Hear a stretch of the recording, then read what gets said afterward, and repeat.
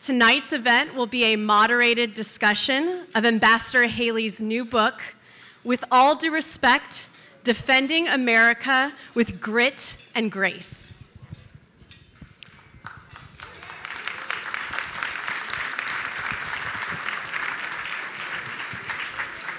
I'd like to begin the program by introducing um, Mary Beth Buchanan, who will be guiding the conversation, and then I will also be introducing the author herself, Ambassador Haley. Mary Beth Buchanan serves as president of the New York City Lawyers Chapter. She is general counsel to Kraken, the world's, one of the world's leading global digital asset exchanges. Before entering the private sector, Mary Beth had an impressive career in public service, which included serving as Ethics and Reputational Risk Officer at the United Nations. In that capacity, she conducted the first global ethics and reputational risk assessment for the UN peacing and special political operations. This required her to visit countries like Kenya, Rwanda, Lebanon, and Israel to interview UN peacekeepers and determine areas most at risk to misconduct, which would criminal, uh, compromise UN peacekeeping abroad. In addition to her work at the UN, Mary Beth spent 17 years in the U.S. Attorney's Office, where she was appointed U.S. Attorney for the Western District of Pennsylvania. I had the privilege of working with Mary Beth when she was a partner at Bryan Cave Leighton Paisner, and I'm fortunate to call her a mentor. So sorry, I don't have a podium, so it's a little awkward. Next, I'd like to introduce Ambassador Nikki Haley.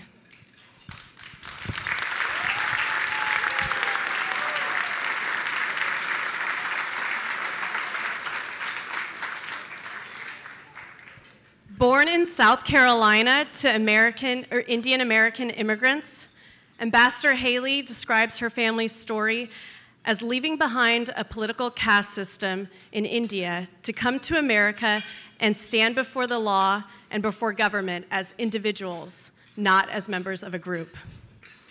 In that spirit, Ambassador Haley began a career in state politics and eventually began, became the first woman governor of South Carolina.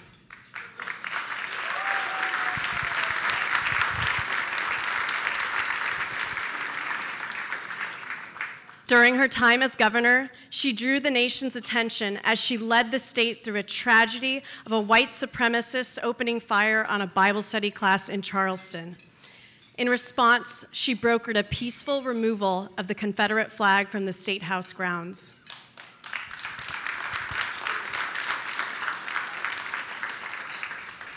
At the end of her second term for governor, she was appointed to lead the nation as ambassador to the United Nations under President Trump.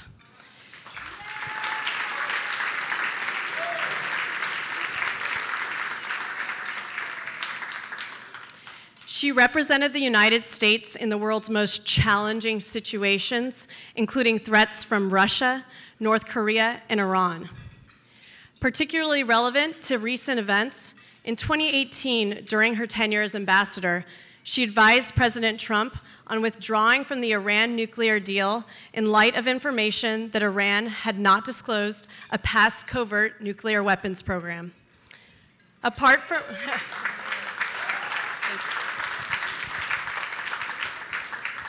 Apart from her public service, Ambassador Haley is married to, to Michael Haley, has two children, and an adorable Labradoodle named Bentley that actually has his own Instagram account.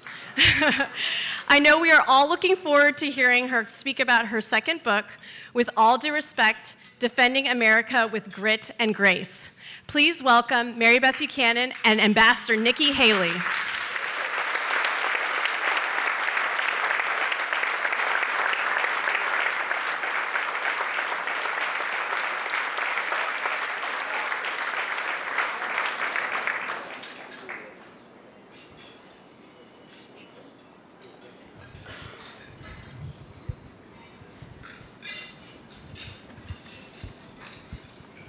Ambassador Haley, thank you again so much for being here with us. Um, with your, your poise, your confidence, your decisiveness, and your integrity. You are an inspiration not just to all of us here this evening, but to many around the world. Well, thank you so much. And I have to say, it's a real thrill to be here at the Federalist Society in New York. I didn't know you guys had a chapter here. I will tell you that. Uh, I was have been a longtime fan of the Federalist Society. Um, as governor, when I first became ambassador, have spoken in D.C. But I can tell you, you probably feel like I do that I said that the United Nations was a good stepping stone for me because it prepared me to be a Republican in New York. So it's uh, Well, we, we would have been very happy to have had you join us during your time at the UN, but after reading your book, I can see that we can all see that you were very, very busy. yes. Well, for those of you um, who have read the book or you haven't read the book, uh, you're all in for a treat um, because this book is so rich with uh, details about the ambassador's life from the time her parents came to the U.S. until the time that she left her position as the uh, U.S. ambassador to the UN. The, um, the book includes so much material, and it's hard to imagine that most of it really is about a 14 year period. I mean, there's a little bit in, in, in the early days, but most of it really is condensed um, in the time that you were in public office. You know, I wrote a book, a book prior to this, and it was called "Can't Is Not an Option," and I wrote that right after I was elected governor because it was such a brutal race. You know, South Carolina to win in South Carolina, it's a blood sport. And it was such a brutal race. And I had so many people come up to me and say, after seeing what you went through, I would never run for office. And I was devastated because we need real, normal people to run for office. I, have run for office, and I can attest how brutal it is. so I, I, wrote that one then. And then after leaving the United Nations, the reason I decided to write this book um, when I did was I knew that, you know, history is what it is and the facts would be there, but I wanted the emotion to be with it. I wanted you to know what it was like to be in that back room when we were negotiating something. I wanted you to know what it was like when we did bring down the Confederate flag in South Carolina. I wanted you to know what all of those emotions were along with it. So I've often said everyone should write. Um, whether it's a book or whether it's a journal, and I have never been good at writing a journal, but I continue to write books. It allows you to come to terms with your life. It allows you to come to terms with decisions you've made, with mistakes you've made, with lessons that you've learned in a way that gives you real peace and healing. And so I would advise anybody to just write a journal because there's a lot that happens in your life and a lot of challenges that you go through your life in your life and when you put it on paper, you suddenly forgive yourself or pat yourself on the back in ways that you normally would not. Yeah, I'd like to take you back all the way to, to, the beginning when your parents came to the United States. I mean, they were very successful in India. Can you tell us why they thought that um, their children could not achieve that same success and why they wanted to come here? They were both from very wealthy families in India.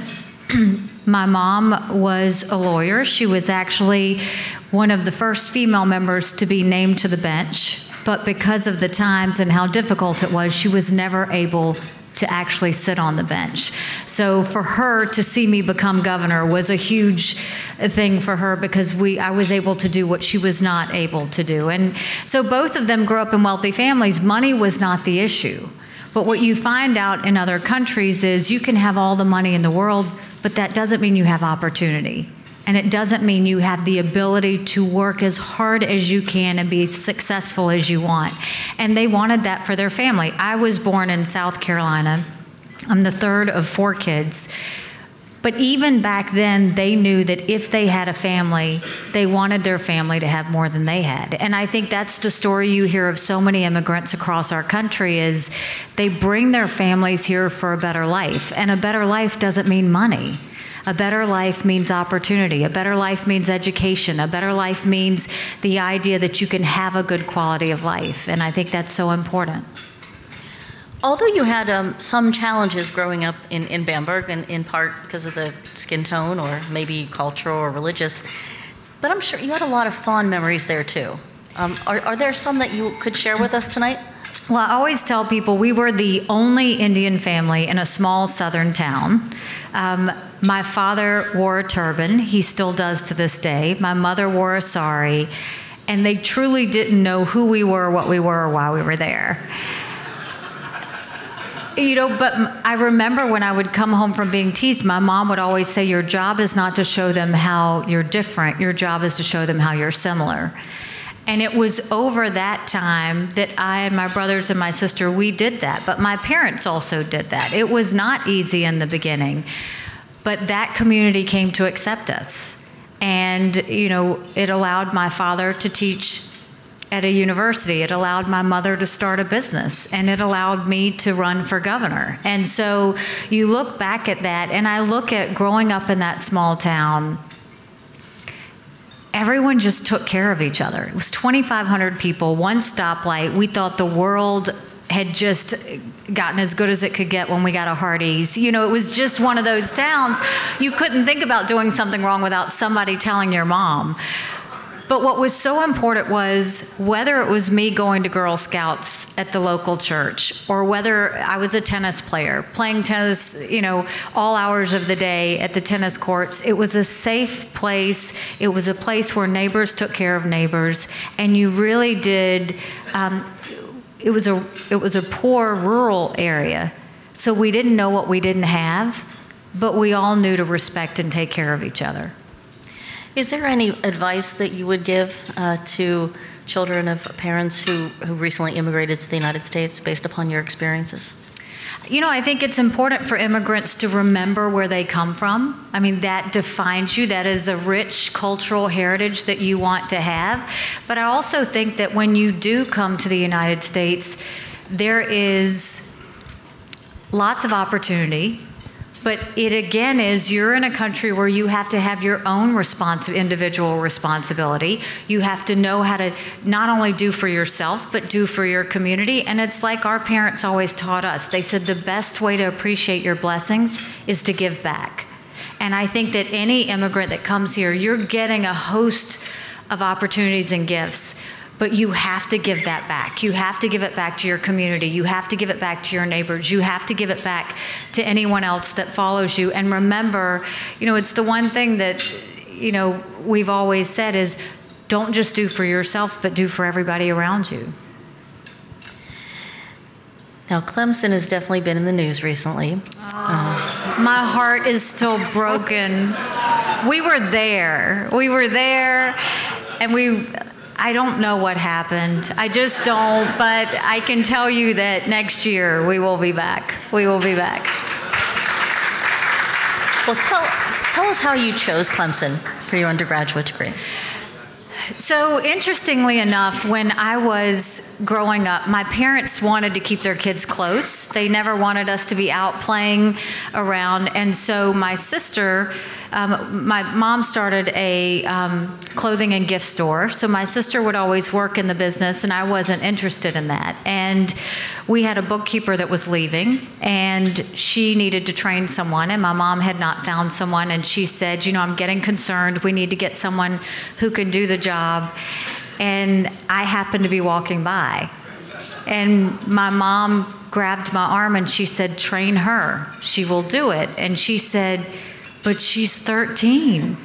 And she said, if you train her, she will do it. And so at 13, I was literally making the deposits, I was doing payroll, I was balancing our ledger. I had my first audit when I was 16. It wasn't until I got to college that I realized that wasn't normal. And now I know it was completely child labor. I mean, completely child. Tell but you know, I developed a love of numbers because in that process of doing the accounting, you learn to stretch a dollar.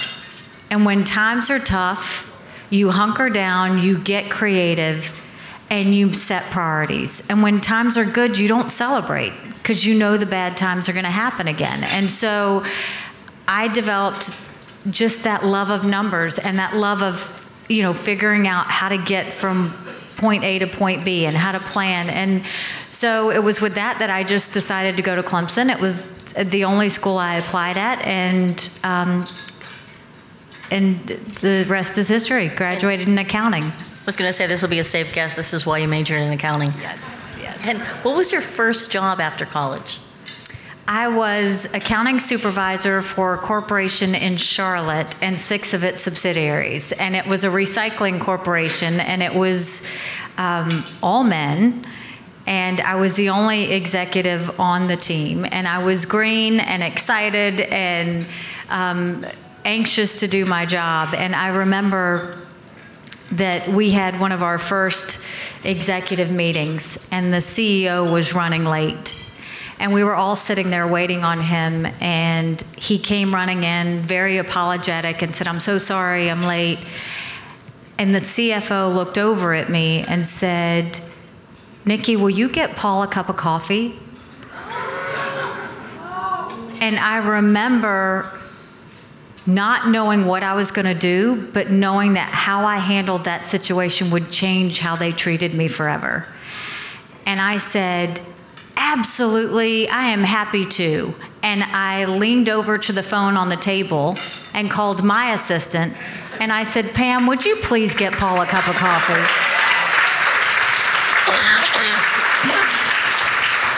they never asked me to do that again. It's important to teach. So, going from accounting to running for the state legislature is a big leap. Can you tell us what motivated you to do that? So, after working um, for the guys down the hall in the corporation, I went back to the family business, and um, it had grown tremendously at that point. And I, so, I was doing all of the um, accounting work for the business, and I happened to be complaining one day in my office to my mom, saying how hard it was to make a dollar and how easy it was for government to take it. And my mom said, "Don't complain about it. Do something about it." I truly did not know you weren't supposed to run against a 30 year incumbent in a primary. I did not know that. It was ignorance is bliss. I just thought there were way too many lawyers at the State House, no offense, and they needed one really good accountant. So, um, so once we, um, once I signed up for it and realized that the incumbent was related to half the district, um, the only option was to win. So my husband got in the driver's seat, I got in the passenger seat. We put our two little ones in the back seat watching TV, and I started knocking on doors. And as I knocked on doors, I would never say anything negative about the incumbent. I would always say we respect him and we respect his time and service, but it's time for something different. And um, hard fought race, but um, was fortunate enough that they gave me a chance to go to the State House.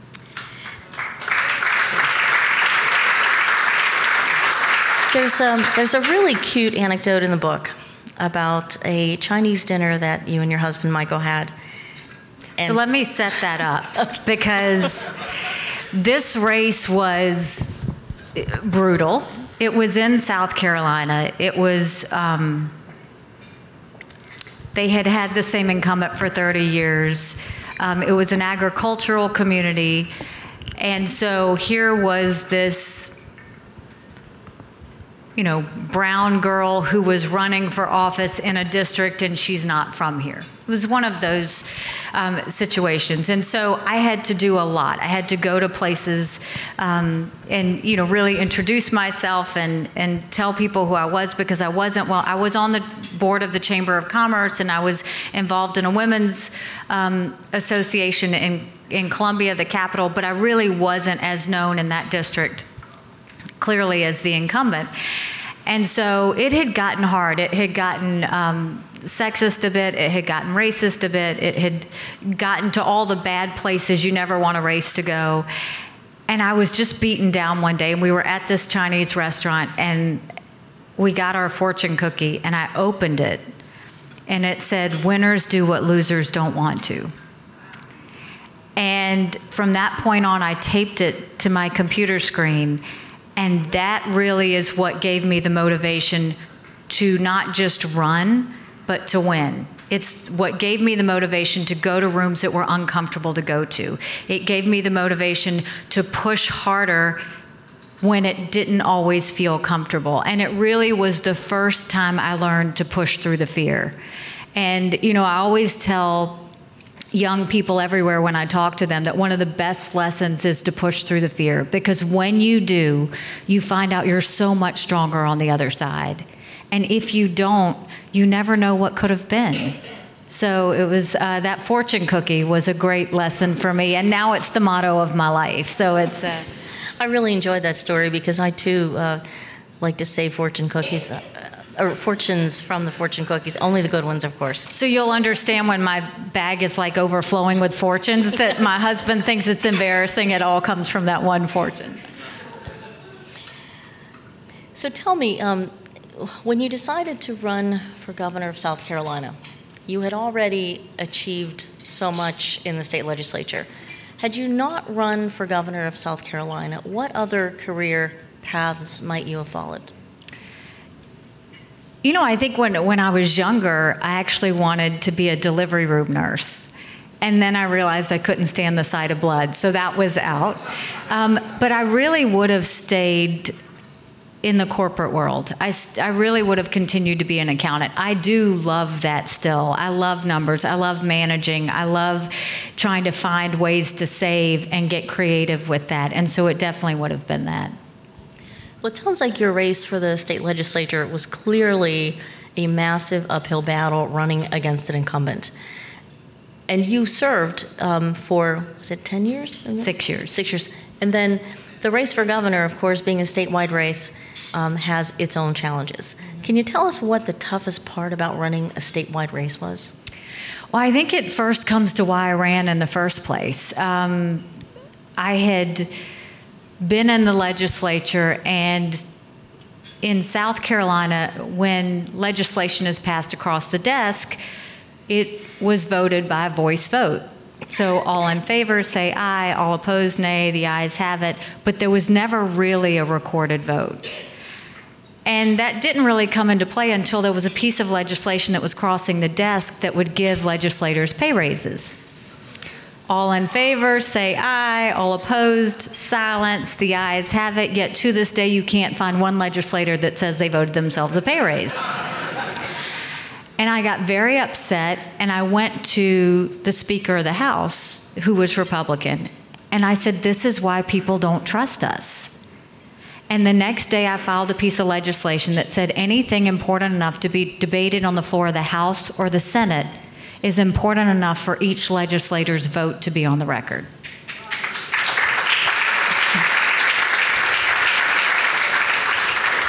And the speaker pulled me aside and said, Put the bill away.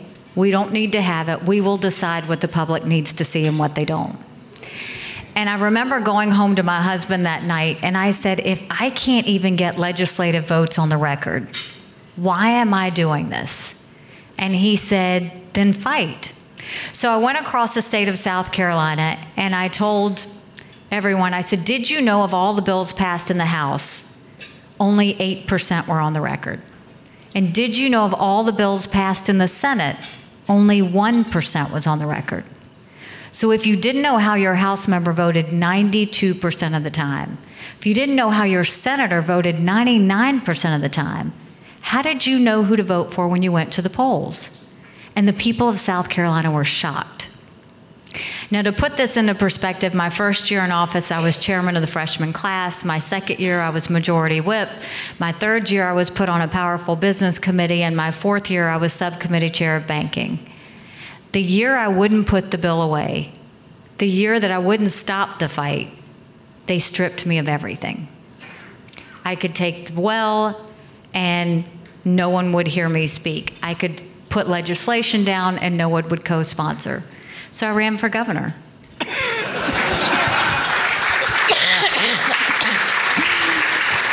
And I'm proud to say that one of the first bills I signed into law is now in South Carolina. Anything debated on the floor of the House or the Senate has to have a vote on the record, but we took it a step for, forward just for fun. Every section of the budget has to have a vote on the record as well.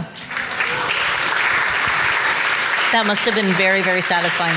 Well, and you know, you talk about how hard it was, but the truth was, one, it was tough being blackballed, right? Because I, I completely was blackballed. But then here was a little House member who was running against a lieutenant governor, an attorney general, a congressman, and a state senator.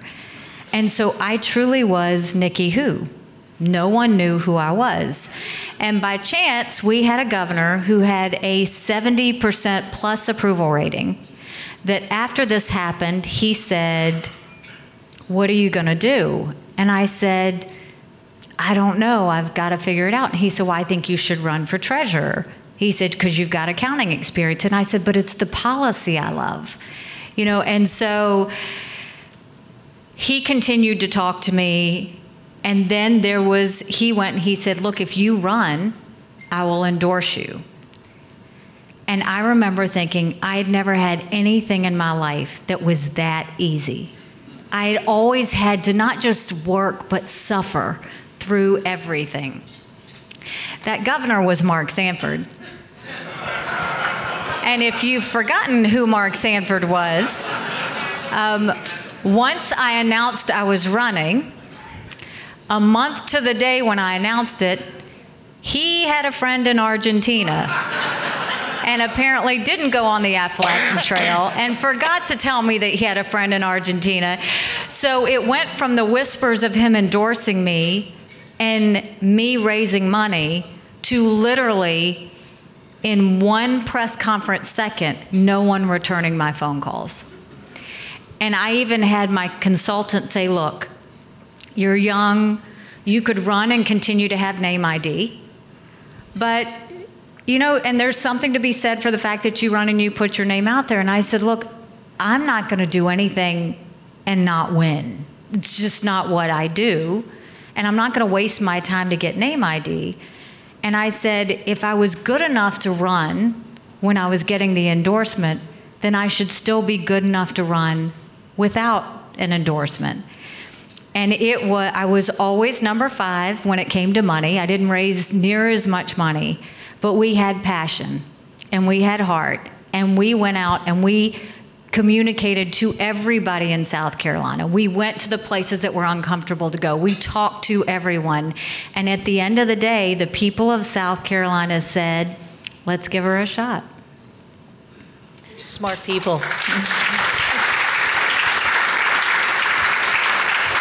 Now, I'd, I'd, like to turn to some of the, the uh, more trying events that, that really uh, were part of the challenges that you faced in your in your tenure, beginning um, with the murders at the Mother Emanuel Church.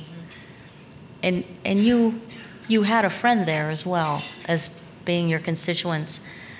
How did you have the strength to comfort those families who lost people, to be strong for the constituents of your state, uh, and to basically continue to do your job and take care of your family with, with all of this tragedy?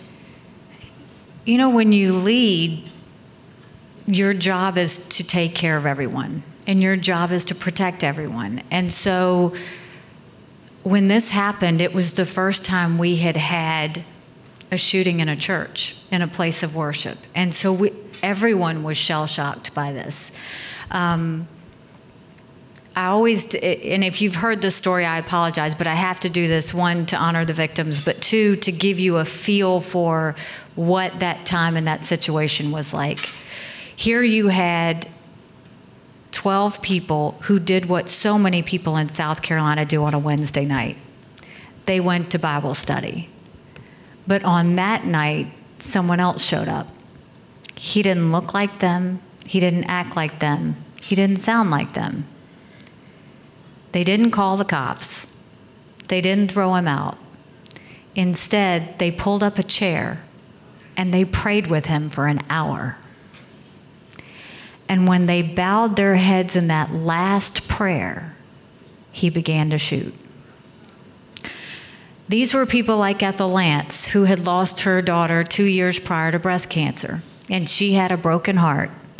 But she would go around Mother Emanuel Church, cleaning the church, singing, One day at a time, sweet Jesus, that's all I ask of you. Give me the strength to do every day what I have to do.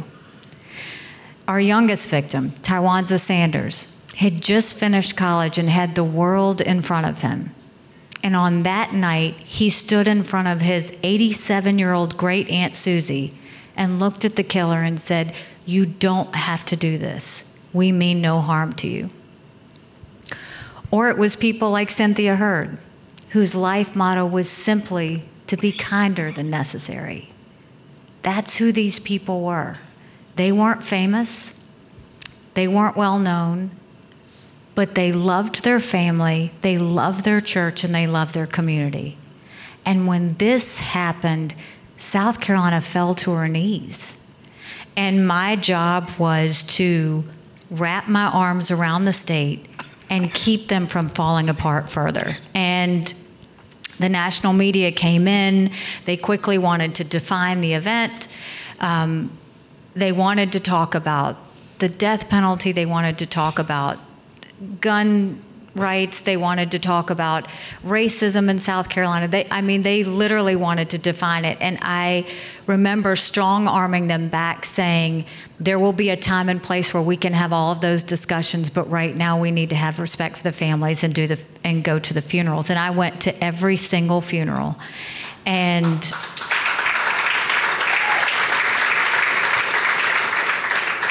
And then we had to have a very honest conversation with the people of South Carolina and let them know that um, the flag never should have been up there in the first place. And a flag is a living, breathing symbol that represents people, and no one needed to drive by that state house and feel pain and that it was time for the flag to be moved to a museum. And I will forever give credit to the people of South Carolina because they stepped up in a time of great debate and they helped make the right decision, and the flag came down.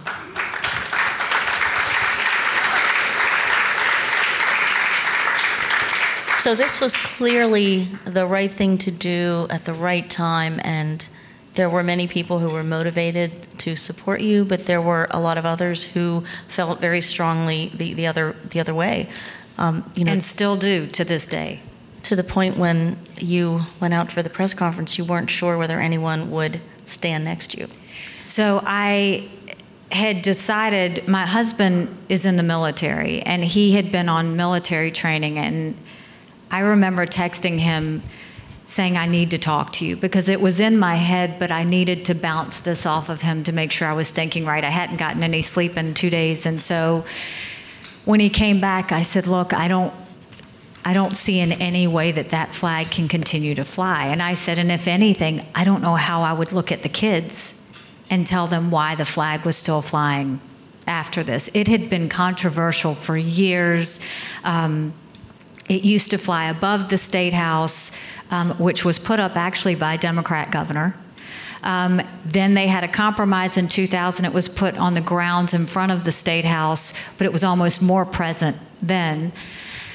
And so I decided that I wanted to call for the flag to come down, and I called a few of my staff members in said this is what we're going to do i want to have meetings on monday and do not tell them what the meeting is about because i knew that a lot of people wouldn't show up so I had a meeting with Republicans, I had a meeting with Democrats, I had a meeting with congressional members, and I had a meeting with community leaders. And in every one of those meetings, I said, at four o'clock, I'm going to have a press conference today asking for the flag to come down.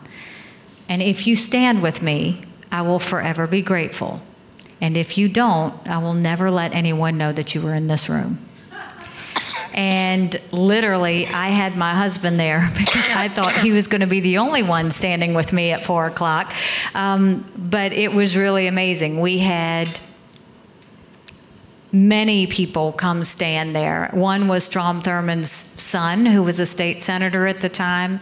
Um, there was another one that was a Senate leader who had tons of Confederate memorabilia all over his office. And he said, I don't want you standing here by yourself. And then we had members from both sides that stepped up. Now, that didn't mean that it was done. It was, the hurdle was it would take a two thirds vote in both the House and the Senate. And so we went through um, a brutal battle and a brutal debate. And, you know, it's funny recently you may have seen in the news there was some comments that they said that i had walked back um, how I felt about the Confederate flag. And it, it goes to question that what I said a few weeks ago on the news was that part of the people in South Carolina saw the flag and thought of heritage and service. And another group of people in South Carolina saw the flag and felt pain. My job as governor was never to judge either side. My job as governor was to pull them together in a way that was respectful that allowed them to move forward. And I said that on a on a radio show recently and tons of people got upset and said, "Oh, she's changed, she's walked back." Those were literally the same words I said in 2015. I have said that that flag never should have been there in the first place, but what worries me is the politics are so bad now that I wonder if I would be able to pull that flag down the way life is now. You know, as toxic as, as it is, we have to be willing to listen to each other. We have to be willing to understand, even if there's differences, you can't move people by judging them and condemning them. You have to move people by trying to understand them. It must be so maddening to to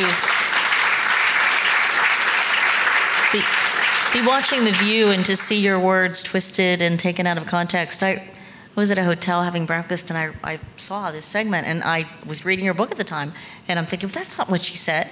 But or, or, rather, you know, she, she hasn't said anything different now, but the vast majority of people don't don't really understand that. You know, and on everything else, I can tune out the media. I can tune out what they say and, and see it as talking heads. On that one, that's painful for me. I mean, it's really hard just because that was such a painful time for me personally. It was a painful time for the state, but I know that I'm right because there's not a person in South Carolina that would tell you that what I said then or what I've said now is exactly what it was back then. Now, your husband, Michael, uh, has been a, a, really big source of strength to you. And I always like hear how like to hear how people met, and I'm sure there's a great story here. Can you tell us how you met? I was 17. It was my first weekend at Clemson, um, and we met then, and we dated for seven years and have been married for 23. He was my first boyfriend.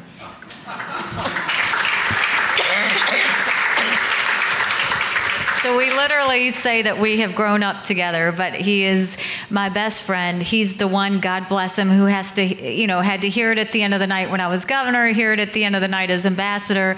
Um, but he's he's that sounding board. He's the one that keeps me humble enough to not get crazy. He's the one that pushes me to fight when I need to and pulls me back when I'm when I'm thinking too much.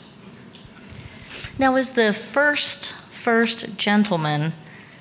The first gentleman was also the first gentleman to serve in the military while his wife was governor.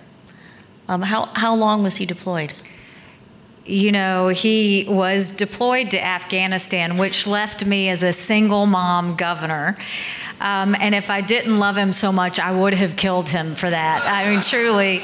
Um, you know, and a lot of people said, well, why didn't you you were governor why didn't you keep him from going? And i said well he would have divorced me. Like that you know when they get the call they wait for that call. And there's nothing that should stop them or will stop someone when they've got that in their blood. And so he got the call and we did everything we could to prepare the kids who were younger. And i remember the first three months one of them was crying every night missing their dad. And you know you as a military spouse your job is to support them and let them know not to worry and you've got everything under control. But in the back of your mind you always wonder if they're going to come home and how you'll handle that. And so i didn't always have the best moments. I will tell you that when um, there was one night i had had just a really bad day in the governor's office and came home and the entire first floor of the governor's residence has security cameras. And so they stop midway up the stairs, and that's always when I would take a breath because you felt like you were off when they would do that. And I remember one day I went to the wine cabinet and I got a bottle of wine, and I was going up the stairs and I looked at the camera and I said, Don't judge me. because I had just had it. Or, you know, there was another time where some of y'all may remember seeing this. I had to get, I always got the kids out the door every morning. And I had to get my little one out, and he had to wear a tie that day. And I couldn't get it on him. It, I couldn't get it right. And this is bad. It was a clip on tie, I still couldn't get it on right. And so I'm getting him out the door, and security was sitting over there. And I said, I called them over and I said, Sydney, can you come over? I can't get this tie to go on right. And so he helped me. I kissed his cheeks, sent my son on his way, turned around, go to open the door, and it's locked and I am in my robe in front of the governor's residence with the door locked, and I'm looking up at the security cameras in what felt like a lifetime. And all of a sudden, my daughter swings the door open and says, Mom, what are you doing outside in your robe? And I said, I got locked out. And she said, I'm late. I got her dressed, sent her out the door. I do my own social media. And I went and I said, What not to do getting locked out of the house, getting the kids out the door. Didn't think anything else of it get dressed, come out, different security agent says to me, Governor, I'm sorry you've had a bad morning. And I said, Oh, did you read my social media? He said, No, ma'am, it was on the radio. and I look at my phone, and my press office is blowing up my phone saying, Did you get locked out of the house in your robe? And I said, Yes, why? And they said, because the TV stations are calling asking for the footage and I'm like, "No, wait." And but before I knew it, the Today Show and Good Morning America and The View and everybody was talking about me getting locked out of the house. And all I get is an email from my husband that says, "Really, Nikki?" so much for holding the home front. Well, as, as my husband Tom knows, I would have been moving that cabinet up to the top of the stairs. So you're obviously a, a very, very close family, and there are a lot of um, tough decisions that you had to make as a family. How how did you sort of weigh those difficult decisions? Did you have a kind of a method or process that you used? You know, my my husband and I were were partners. You know, we both work, we both helped parent, we both, you know, bounce things off of each other. But I think at the end of the day, we have learned and the best way I think for everyone is it's always got to be family first. It just does. And you know, as a mom, if something wasn't right with Michael or the kids, it would sit with me all day. And I've always said if I'm a good wife and a good mom, I'll be a good governor. If I'm a good wife and a good mom, I'll be a good ambassador. And that has always been true because, you know, even if I went into the state house and had a handprint on my skirt or a crayon in my bag, it was the times when I forgot to send the permission slip or the time where I forgot to send the snack that would just like stay on me. And so when you keep your family as the priority, then everything falls in line. And so as governor, you're pulled on, and ambassador, you're pulled on to do everything. But we always had Friday nights as Haley Family Fun Nights where the kids decided what we did. We always were sitting at home eating dinner five nights a week um, at the dinner table. And when you had that normalcy in your life, it keeps you from letting your job run away with you and you more controlling your job. So I want to move forward now to the, um, the Republican primaries. You had a number of friends who were, who were running for the nomination. There was a lot of talent on that stage. There really was. And I think everyone knows that President Trump was not your first choice. so. You know, he. Everyone should know that the president and I knew each other before that primary. So he had been a supporter of mine, and after I won the governor's primary the first time, I got this envelope with this great gold trim, and it had a support check in it, and there was a note that said, You're a winner. And so we had been chatting and talking, um, you know, throughout the time. So when he decided to run, he just wasn't my choice. And so that was when I endorsed another candidate, and he tweeted, Nikki Haley is an embarrassment to South Carolina. and I responded in a tweet and said, "Bless your heart." So it's uh,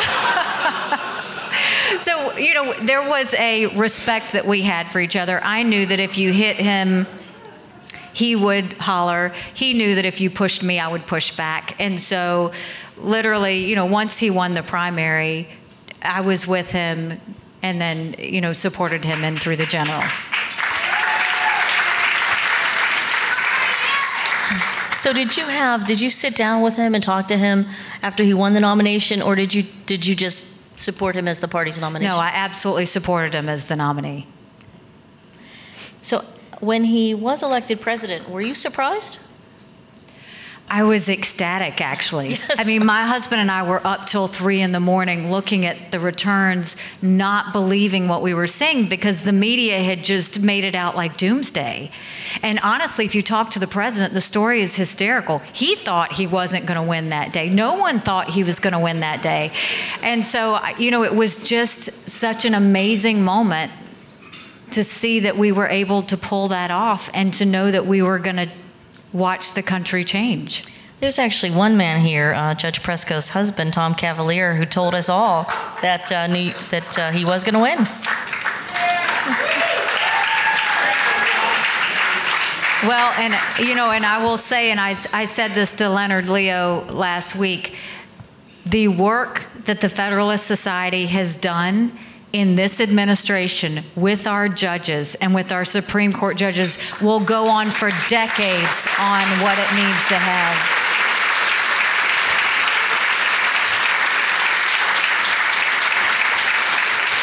It's a model that we need to copy term after term after term because as a governor, I felt what a liberal judge versus a non biased conservative judge would do.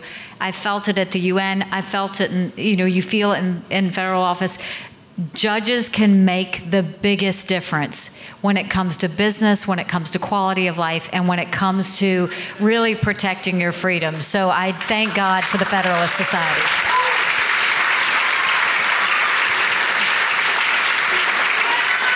I think it was a, at one of the meetings right before the election that we had a very spirited debate about the election, and it was, uh, as you said, we're all thrilled with the result. So I read in the book that you you were surprised um, when you were asked to be to consider uh, serving as UN ambassador. Can you tell us tell us about that day? You know, I was just I just wasn't expecting it. I loved being governor. I loved serving the state that raised me. It was a fantastic job. And so it wasn't anything that I was looking for. Um, my husband and I take care of my parents. They're both in their 80s. My mom has Parkinson's, so they live with us. We had a daughter that had just started college, a son that was 15 at the time. So it just wasn't anything that from our life that we would be looking for. And so I got the call from Reince Priebus, and he said, um, Nikki, the president elect, wants to see you. And I said, okay, well, I could probably get there next week. And he said, no, we need you to come tomorrow morning. And I said, what does he want to talk to me about?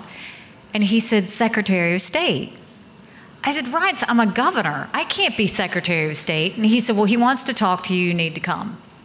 So I go and I meet with him. And, you know, the first thing he says when I walk in is, well, I guess your guy didn't win. You know, just can't let anything go. I gave him his moment, let him like say what he wanted to say, and then we had a big laugh over it. And then we started to chat. And I said, Look, I'm just not your person.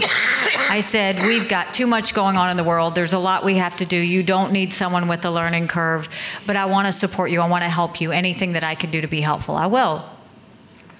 Go back to South Carolina. Reince calls again. He says, Don't say anything, just listen.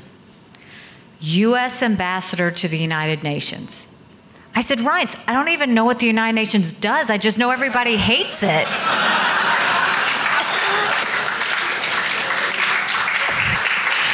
he said, he said, well, the president's going to call you on Monday. I need you to be ready. So I go home. My husband's like looking at it on the computer, going, Nikki, I think you'd be really good at this. You know, it's so we sit there, the president calls Monday and he says, All right, Nick, are you going to do this? And I said, Well, sir, there would have to be some conditions before I could even consider it. And he said, Okay, what are they? I said, Well, I've been a governor. I don't want to work for anyone else. I would want to work directly with you. So it would have to be a cabinet position. He said, Done. What else? I said, Well, I'm a policy girl. And so I'd want to be in the room when decisions are made. So I'd need to be on the National Security Council. He said, Done. What else? I said, Well, I'm not going to be a wallflower or a talking head. I need to be able to say what I think. And he said, Nikki, that's exactly why I want you to do this. And he was true to his word from the first day to the last day.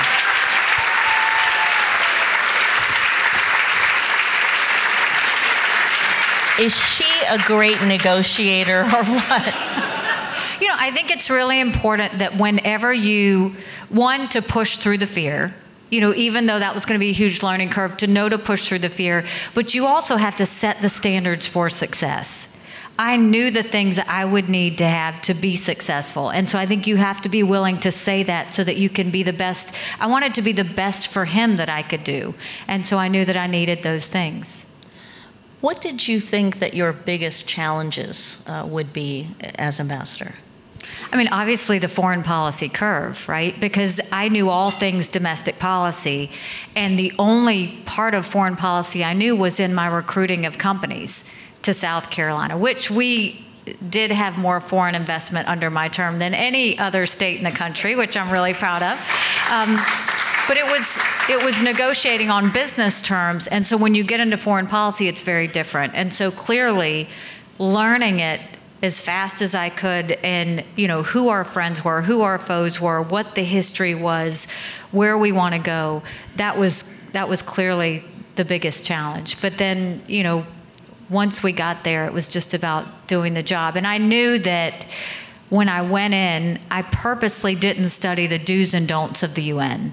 I wanted to be able to ask for forgiveness as opposed to being told the protocols because I knew what my job was and I just wanted to get there. And I didn't care about people liking us. I wanted people to know what the United States stood for and what we stood against and did not have any gray area. Because what I did know is through the past administration, a lot of countries didn't exactly know where we were. And I wanted to make sure that there was, it was all black and white, that there was no gray in the way that we communicated that out. In addition to the preparation that the administration gave you to prepare for your hearings, you also got a big assist from your son, right? So my son, who um, our daughter floats through life, and if you asked her what I did the last couple of years, she'd say, "I don't know." She had a job in New York. Um, but if you asked my son, he could literally tell you everything I've ever said, and he would, if I would do interviews on TV, he would say, "Mom." You did fine, but you're better than that. You know, like he was really hard on me. And so when he, I almost didn't take the job because he was 15 and I didn't want to move him at the time. And he's the one that said, Mom, you have to do this. And so the first, I'm a big whiteboard person. And so the first thing I did was I had three big whiteboards brought into the office at the governor's residence so that I could make notes. And I walked in the first day to start studying, and my son had already written on one of the whiteboards um, countries we like and countries we don't. and he listed it all out. and he was actually totally accurate. Well, st- still impresses me to this day. How did your son like living in New York City? You know, my son just thrived in New York. I was terrified. And the, you know, the first time he went out, I was like, Where are you going? Who are you going with? And he's like, I'll be back later. And he was on the subway and on a train and all that. He knows New York better than I do. But I will tell you, he just grew up but he grew up in such a smart way. And you know learning logistics and becoming independent and all that i will forever be grateful to new york for raising him because they really did a good job. They really did. So so much of your interaction at the un was uh, on the security council uh, or with other delegates. Uh, did you have an opportunity to interact much with the secretary general I did. I actually would meet with him quite often, um, would talk to him quite often, and look, it was my job to talk with the Secretary General because we were paying, you know, 23% of that budget, and I wanted to make sure he knew exactly that I was focused on how it was being spent, what we were doing, and to make sure that any anti American sentiment or anti Israeli sentiment wasn't happening through his office.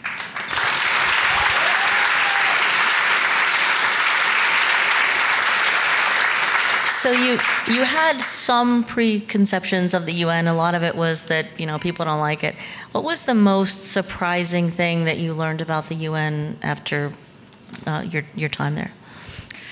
You know, the UN is not a place for the soft-hearted. You know, every I, I say that it really felt like every day um, you put on body armor because you knew that there was going to be a fight that day. You just didn't know which country you were going to be fighting. Um, but what surprised me so much, or what I look back on, is many countries resented us, and many countries would speak against us, but they all wanted to be us. And they would all, when they would pull me aside or when we would talk, they loved the fact at how open we were and our freedom of speech and our freedom of worship and our freedom to, to congregate and do what we want to do. They loved the idea that we could think freely for ourselves and do those things. And so, even though they would resent us, they always wanted us to lead because they thought we were the moral authority. And they would much rather lead the United States lead than China or Russia. And so it's really important that the United States always have an opinion and always use the power of our voice because there's a lot of countries depending on knowing what that is and wanting to follow even if they don't say it in words. Now you you knew that there were uh, going to be a lot of struggles, uh, you know, with certain countries the, on the Security Council, and you ex- you expected that, and you knew it was going to be a tough battle at times. Did you expect that you were going to have some of the power struggles uh, within the cabinet? I mean, that's just politics, right? I mean, I think that uh, I'm sure every administration has their drama and has their issues. I was there to do a job. And I am one of those that, you know, when we had National Security Council meetings once a week or once every other week, I would go to DC, I would do my meetings, and I would leave just as quick as I got there. I didn't want to be a part of the drama. I didn't want to be a part of, you know, the gossip and stuff that was going on. I didn't have time for that or the patience for that. So when you have things come up, the thought is not to be a part of the drama, but just to cut through a lot of the nonsense to get the job done. And that is, I had a very close relationship with the president. There was not a time where I called that he didn't call me right back. Um, he would often call and ask what I thought on certain issues. And, you know, many people want to know how I got out of the administration without a tweet. and I was very honest with the president. When he would do something good, I would rally, I would support, I would do everything I could to help him. And if he did something that I thought was going in the wrong direction, I would immediately meet or call him and say, I think this is not the best. Instead, I would consider doing X. And he would always say, Well, how do you see that playing out? And he would hear me out on that. That doesn't mean I won all the time but there was always constant dialogue. So I always felt heard. And as long as you feel heard and you feel like, you know, I wanted him to know everything. And I put that in front of him. At the end of the day, he was the president. And whatever decision he chose, I would support as long as I knew that he had all of the facts in front of him. Now, there were a couple of references in the book to some uh, exchanges with Rex Tillerson. Do you think that he had a, was it a personality conflict with you, or is he the kind of person that just wants to be supreme over everyone, including the president? You know, I was really excited when Rex was named Secretary of State because I love to see business people get into government positions. I love to see people from the outside come in and put common sense to work. And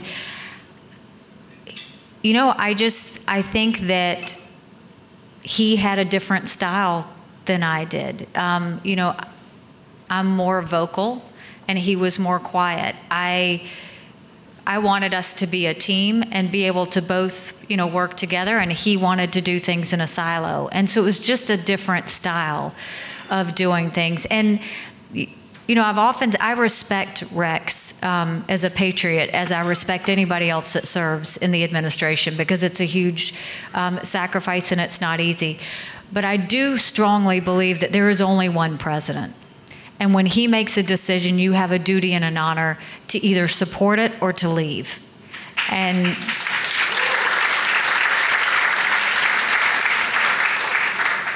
And what I talk about the book is that there were a couple of officials that literally would stall what he wanted done, just not do it, tell them they would do it and it not happen. So we all saw this. This wasn't just me. We all saw as the national security team this happening.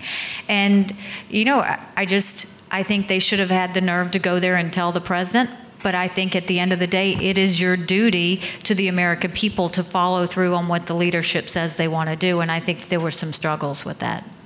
There, there were some pretty tense moments when, when you were arguing for uh, reducing the funding for UNRWA and for supporting the president's view to move the U.S. Embassy in Israel.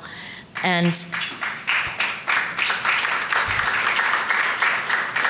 Rex Tillerson and, and John Kelly had other ideas.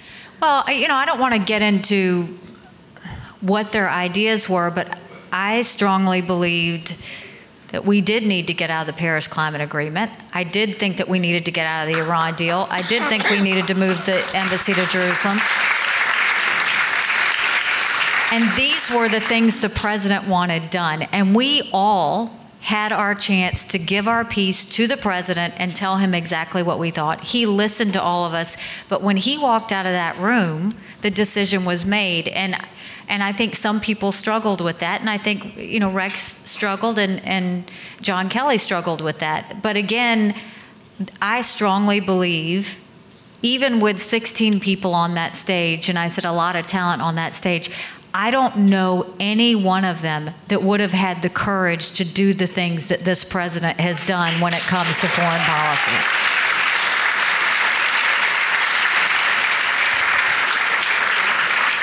When he held the red line on Syria after they did the chemical weapons strike, to see that, to see the fact that, you know, we were able to move the embassy, to pull out of the Iran deal, but then do the maximum pressure.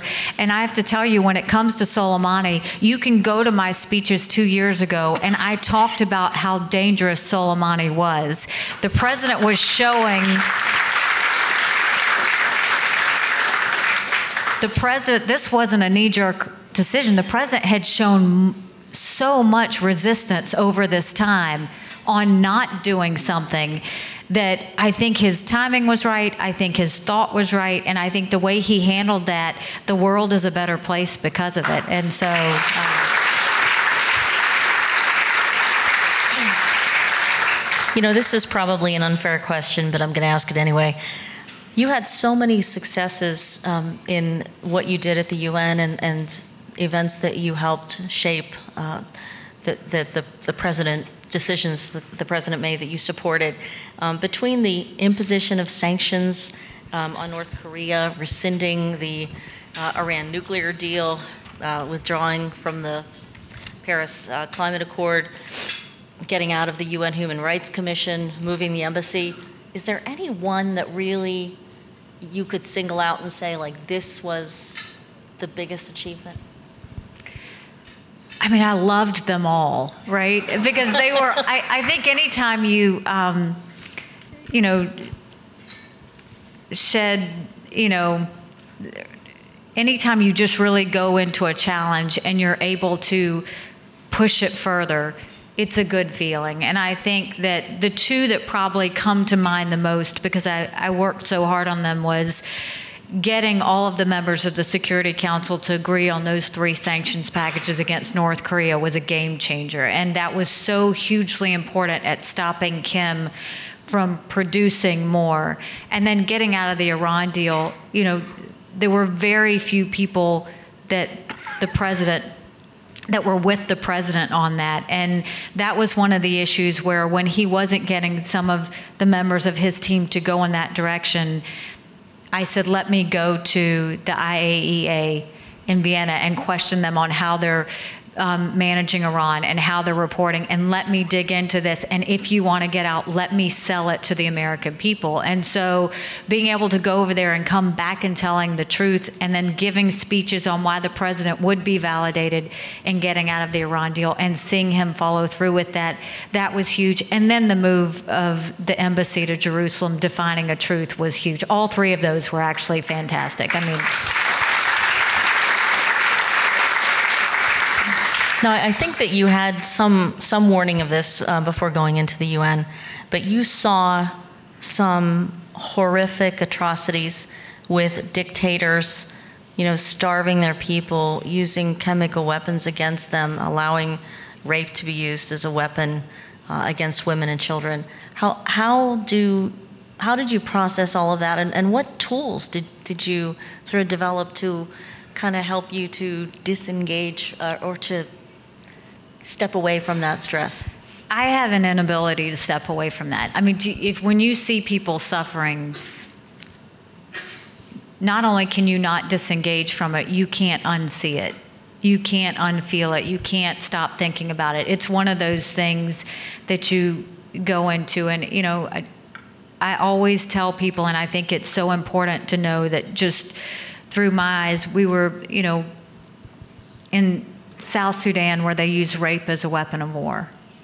Or we went to the Congo and met with women and heard the story of a woman whose baby was taken from her arms and thrown into a fire. And she was later forced to eat his flesh. When you go on the Simon Bolivar Bridge from Venezuela to Colombia and you see thousands of people holding their babies in the hot sun to get the one meal they might get that day, the average Venezuelan adult has lost 24 pounds.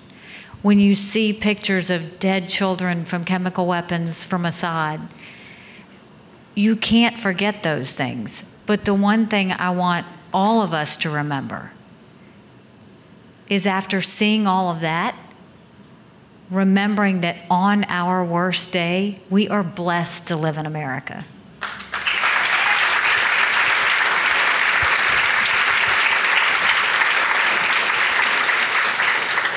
Now, I know I'm, I'm running out of time. I have like one minute. But um, as a woman who is not afraid of the word ambition, what is next for Nikki Haley?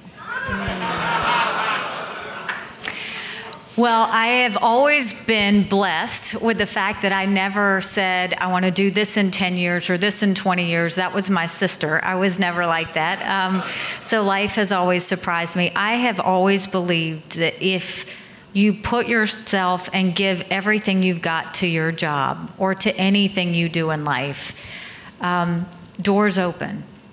And so you know, my mom would always say, whatever you do, be great at it and make sure people remember you for it. And every time I did that, doors would open. And so uh, the reason why I left the UN was not because I didn't love the job or I didn't love what it was. It was the fact that um, our son was a senior, going to be a senior in high school, and I wanted to do the college visits with him, and I wanted to be there as he was selecting where his second home was going to be. I wanted to be there for my parents um, as they're aging and getting older. And so leaving the job was hard, but putting family first was more important. And I think now it's about taking it a year at a time. So this next year, we started a policy group last year, which is doing fantastic. It's called Stand for America, and we're really engaging college students and young professionals and people around the country on capitalism versus socialism and why there's an anti-Israel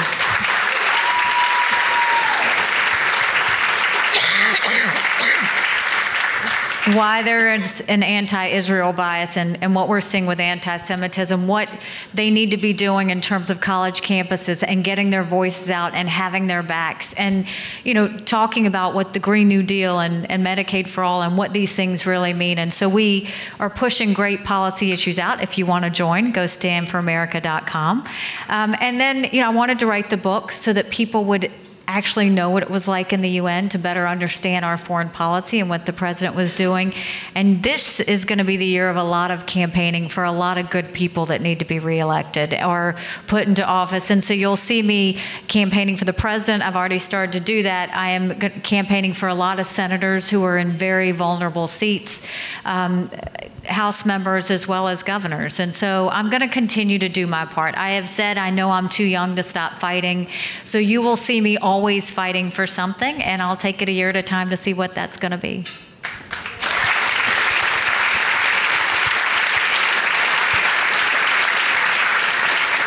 Nikki, thank you so much for being with us. I feel like um, I've asked you so much about the book, but is there a special nugget that I haven't asked you about that you want to tell us? No, I think that for the ladies in the room, reading the chapter on leadership and women in leadership and the story behind, with all due respect, um, is a lesson for all of us, men and women. But I, I think that certainly um, talking about being a woman leader and what that means. Um, and how strong girls lead to strong women, and strong women can literally change the world. I think that's an important chapter. Thank you.